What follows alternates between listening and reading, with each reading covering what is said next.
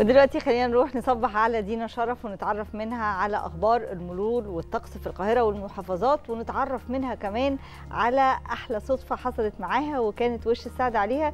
ودينا أصلا من الناس اللي هي يعني بتبقى ماشية كده متفائلة وأي حاجة دايما بتبتسم وتبقى معتبرة إن دي حاجة جميلة وإن اليوم بيبقى عندها حلو.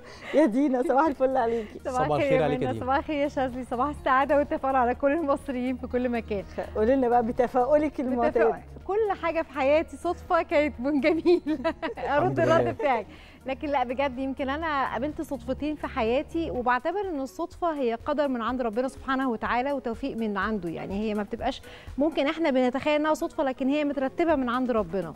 آه طبعا مقابلتي بشريك حياتي والحاجة الثانية إن أنا لما غيرت الكارير بتاعي واشتغلت في الميديا. يعني ده كان بالنسبة لي صدفة يعني صدفة كبيرة فعلا إن الواحد يغير من من مجال لمجال تاني ويحقق حلمه بعد ممكن سنين كتير قوي بيحاول فيه. وبصدفة يمكن في لحظة طب تيجي تعملي test هنا وفي المبنى الكبير مبنى ماسبيرو قعدت اختبارات لمدة سنتين وأنا مش عارفة هل يا ترى فعلا هيقبلوني ولا لأ.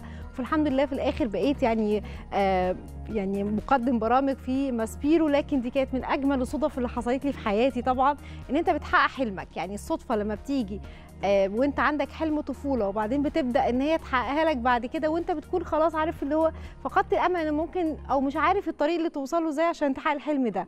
وبصدفة صغيرة يتحقق فعلا.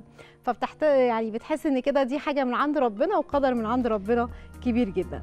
خلوني بقى عشان ما يبقاش في صدفة في إن إحنا نقابل في الشوارع زحمة ناخدكم كده في جولة عن أحوال المرور.